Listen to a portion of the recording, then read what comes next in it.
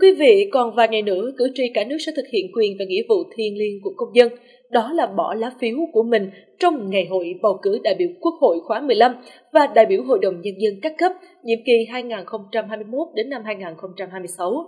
Cuộc bầu cử lần này diễn ra trong bối cảnh trong nước và quốc tế có nhiều khó khăn thách thức.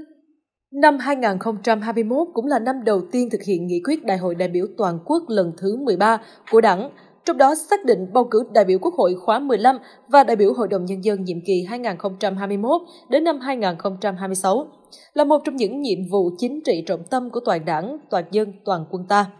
Đây là đợt sinh hoạt chính trị vô cùng quan trọng và là đợt sinh hoạt dân chủ sâu rộng trong mọi tầng lớp nhân dân.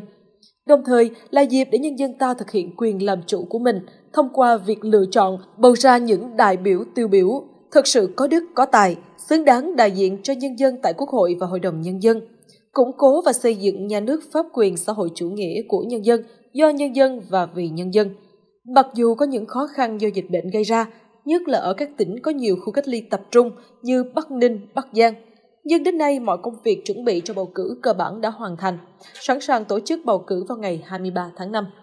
Chính quyền các cấp đã và đang tập trung dốc sức chuẩn bị các điều kiện cần thiết để tổ chức thắng lợi cuộc bầu cử, bảo đảm cuộc bầu cử được tiến hành dân chủ, bình đẳng, đúng pháp luật, an toàn và tiết kiệm. Thực hiện đúng quyền và nghĩa vụ của cử tri chính là góp phần vào thành công của sự kiện chính trị, pháp lý, dân chủ sâu rộng của cả nước.